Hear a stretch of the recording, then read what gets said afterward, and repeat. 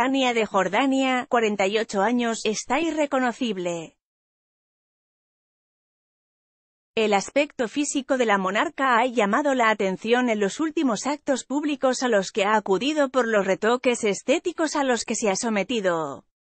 Jaleos conoce a qué operaciones se ha sometido, este periódico se ha puesto en contacto con la clínica estética de la doctora Barba Martínez, para conocer qué tratamientos ha seguido para conseguir un nuevo rostro. El más importante, y por el que ha conseguido esa tirantez en la cara, es su lifting facial. Se trata de un tratamiento quirúrgico con anestesia general para retirar el exceso de piel en el rostro y cuello y tensar sus músculos, eliminando así los signos de flacidez y mejorando el tono y brillo en el rostro. Una intervención que tiene un precio de 9.000 euros, según explica la doctora. Según los expertos, este tratamiento es habitual en mujeres de la edad de Rania que buscan un método efectivo y duradero de rejuvenecimiento facial para devolver a su rostro la vitalidad perdida con el paso de los años. Este cambio fue visible, principalmente, en la graduación de la princesa Salma como militar, a la que acudió Rania con las mejillas y la frente mucho más tirantes, efecto que se acrecienta con los brillos de las fotografías.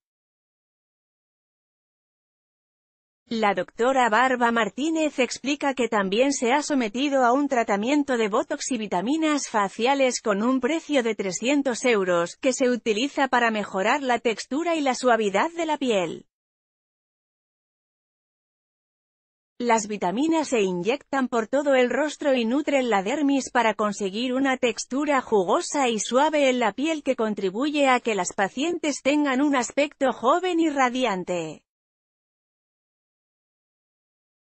También se utiliza para conseguir borrar pequeñas arrugas o líneas de expresión y eliminar el aspecto cansado y apagado. La utilización del Botox, en cambio, se utiliza para prevenir la aparición de arrugas dinámicas o para difuminar y deshacerse de las ya existentes.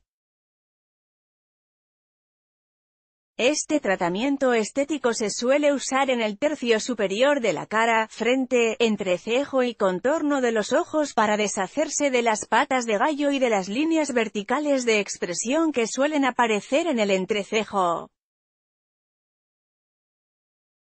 También se usa para las arrugas de los laterales de la nariz, en el cuello o en las comisuras de los labios. Todo ello encaminado a conseguir una apariencia más relajada y más joven. Moraleja, Leticia, ten cuidado Rania de Jordania es un modelo a seguir para la reina Leticia, 46, que ve en la monarca una inspiración para sus estilismos.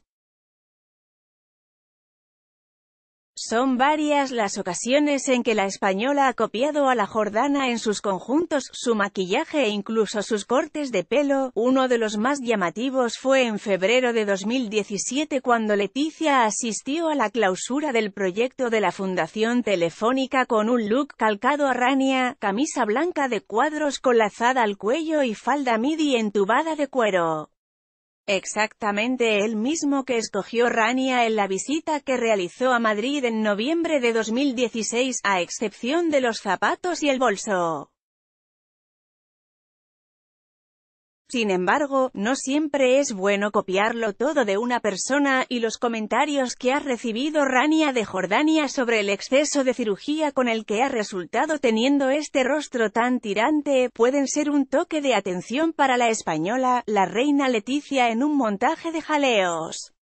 Leticia lleva tiempo sometiéndose a varios tratamientos estéticos para evitar que aparezcan signos de la edad en su rostro, rinoplastia, mentoplastia, botox.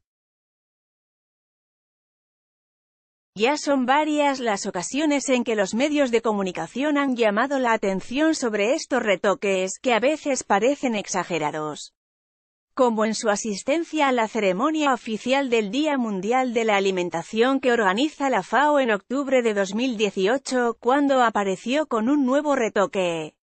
Punto. El rostro actual de la Jordana puede servir de moraleja. Para que la reina Leticia tenga cuidado a la hora de realizarse nuevos tratamientos, y evitar convertirse en una rania irreconocible. Más información, una reina en chándal, Leticia, aprende y copia a Rania como has hecho otras veces.